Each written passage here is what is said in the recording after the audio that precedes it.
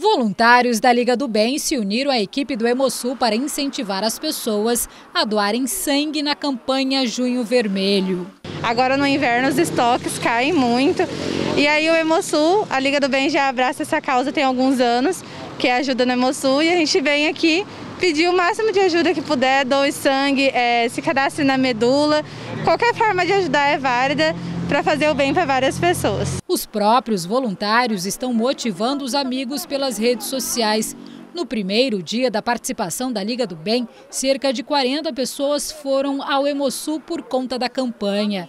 Os personagens farão a recepção dos doadores do lado de fora até sábado, dia 6. O Hemosul funciona das 7h30 às 5 horas. Então, qualquer horário pode vir, eles estão agendando o horário, tem álcool em gel, vir de máscara, todas as recomendações possíveis para uma boa doação.